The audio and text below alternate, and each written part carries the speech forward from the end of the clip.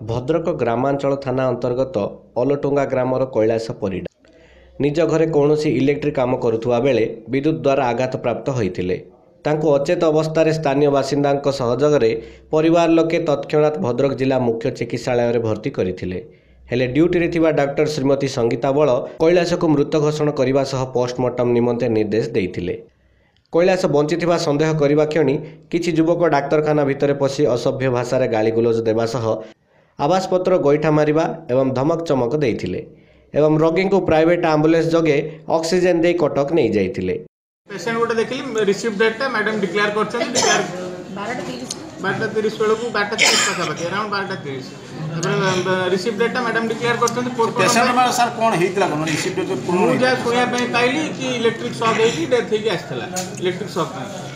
এটা দেখি আসলে রিসিভ ডেটটা ম্যাডাম ডিক্লেয়ার করছেন ডিক্লেয়ার করি পোস্টমর্টম পাই পঠাইলে ম্যাডাম পোস্টমর্টম পাই পঠাইলে তারপরে মু আসলা পরে ম্যাডাম কো ডিউটি ওভার হলা ম্যাডাম গলে মু আসলা পরে সেমানে আসিকি দুনিয়া এজিটেশন বহুত হলা পাবলিক এজিটেশন সেমানে না আমি কটক নেই যাবু দুনিয়া তা ঝগড়া করিকি প্রাইভেট আম্বুলেন্স ভদ্রক হসপিটাল ভিতরকু ডকেইকি প্রাইভেট আম্বুলেন্স ড্রাইভর কু মারপিট করিকি পুনি আসিকি আমার এটি এমার্জেন্সি ভিতরে পুনি ঝগড়া দুনিয়া ভাষা কইকি মেডিকাল সে সান্না পরে আজ সকালে সে করোনা লাগিলা କରେଣ୍ଟ ଲାଗିଲା ପରେ ଆମେ ମେଡ଼ିକାଲ ନେଇଗଲୁ ଏଠିକି ଡକ୍ଟରକୁ ଡକ୍ଟର ପାଞ୍ଚ ମିନିଟ୍ ଦେଖିଲା ପରେ କହିଲେ କି ଡେଥ୍ ହେଇଯିବ ତାପରେ ଆମେ କହିଲୁ କି ନାଇଁ ଆମେ କଟକ ରେଫରେନ୍ସ କର କଟକ ନେଇଯାଉଛୁ ରେଫର କର କଟକ ତାପରେ ସେଠୁ ମନା କରୁଛନ୍ତି କି ନା କଟକ ରେଫର ହେବନି ଆମେ ସେଠୁ ଦେଖାଉଛୁ ଏଠି ଡକ୍ଟର ପାଞ୍ଚ ମିନିଟ୍ର ରେଫର କରିକି ନା ମନା କଲେ ଆଉ ମନା କରି ତାର ପୋଷ୍ଟମର୍ଟମ୍ କରିବା ପାଇଁ ନେଇଗଲେ ଆମେ ସେଠୁ ଡ୍ୟୁଟି ଯାଇ ଧରିଲୁ କ'ଣ ପାଇଁ ନେଇଗଲୁ ଏଠି ପୋଷ୍ଟମର୍ଟମ୍ ନା ସେମାନେ କହୁଛନ୍ତି କି ଡେଥ୍ ହେଇଛି ବୋଲି ଆଉ ଆମକୁ ଡେଥ୍ ହେଇଛି ଆମକୁ ରେଫର କର କଟକ ଆମେ ନେଇଯିବୁ କଟକ ସେ ଡକ୍ଟର ଶୁଣିବାର ନାହିଁ କି ନା ଡେଥ୍ ହେଇଛି ବୋଲି ଆମେ ଆମ୍ବୁଲାନ୍ସ ଠିକ୍ କରିବୁ ପ୍ରାଇଭେଟ୍ ଆମ୍ବୁଲାନ୍ସ ଠିକ୍ କରିକି ଆଣୁ ତଥାପି ସେ ମନା କରୁଛନ୍ତି ଡ୍ରାଇଭରକୁ ବି ମନା କରୁଛନ୍ତି ନା ତୁମେ ଯାଉନି ବୋଲି ଡେଥ୍ ହେଇଯାଇଛି ବୋଲି আর তা ଆମର ତ ଆମର ତ ନେଇକି ଯିବୁ ନା କଟକ ଆମେ ସେ ମନା କରୁଛୁ ନା ନେଇକି ଯାଉନି ଡକ୍ଟର।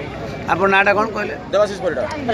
ଡକ୍ଟରଙ୍କ ନାଁ ଜାଣିଛନ୍ତି? ନାଇଁ ଡକ୍ଟର ଜାଣି ସେ ଆଉଟଡୋରରେ ସେ ତିନି ଖବର ପାଇ ନୂତନ ଟାଉନ ଥାନା ଅଧିକାରୀ ଚନ୍ଦନ ଘଡ଼େଇ ସଦଳବଳେ ଆସି ପରିବାରକୁ ସାନ୍ତ୍ୱନା ଦେବା ସହ ଗଣ୍ଡଗୋଳ ଭିଆଇଥିବା ଦୁଇ ଯୁବକକୁ ଅଟକ ରଖି ଘଟଣାର ତଦନ୍ତ ଚଳାଇଛନ୍ତି। ଭଦ୍ରକରୁ ସାଧନ କୁମାର ଧରଙ୍କ ରିପୋର୍ଟ ଉତ୍କଳ ଖବର।